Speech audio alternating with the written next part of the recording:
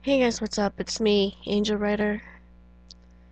And before I post up any other videos, I have to talk to you about a friend of mine from here on YouTube who I found out earlier today that he passed away at only 27 years old.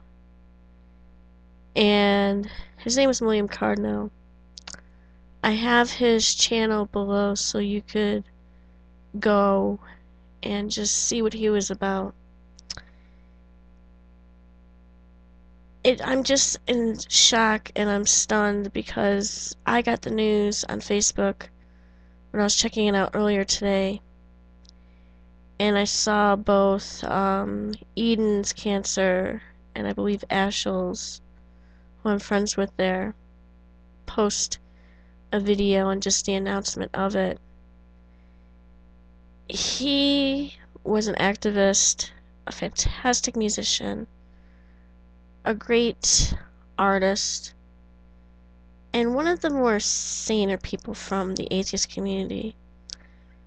I don't exactly remember when I first met him, but I do remember it was probably around the time when a lot of the drama was going on in certain circles, and I just sort of happened to come upon his channel saw a couple of his vids and thought, hey, this guy's actually pretty cool. I, I just like his style.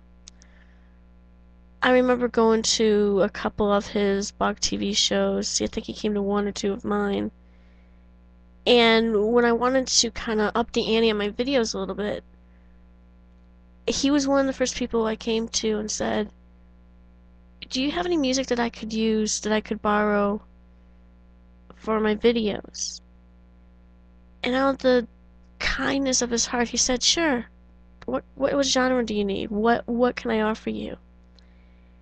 And he sent me some music that I used in some of my past videos. In fact, I do give you'll you'll you'll see him if you go through my archives, and there's credit to him.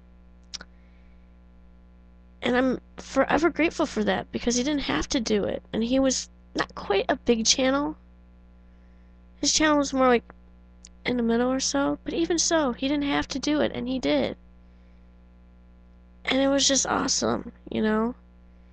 He said what he needed to say, sometimes in fewer words than people would have expected.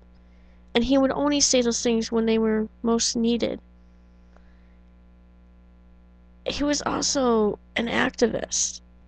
He was a gay activist. He was an atheist activist, but he was the type that where you could have a conversation about anything, not just those topics. And that's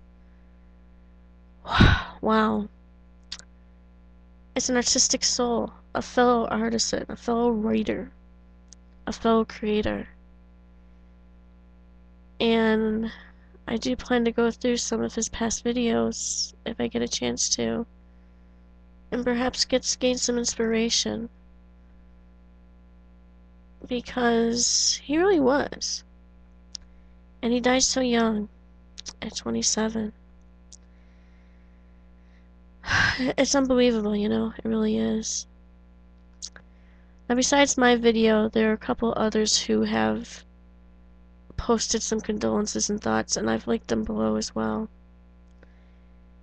And just, if you're watching this now, and you also want to post your condolences and your thoughts, you can post it independently or you can link it to mine as a video response. Either way, wow. This is like a second death of a friend that I've known from the internet within the last couple months. The first one being a friend, or he was sort of becoming a friend mostly on Blog TV, but who also had a channel and was trying to. He was just starting to make his videos and, and whatever. But anyway, wow. I'm just another shock and almost disbelief. He really is going to be missed. He really is. Because he was a cool cat. And people like him don't come around too often.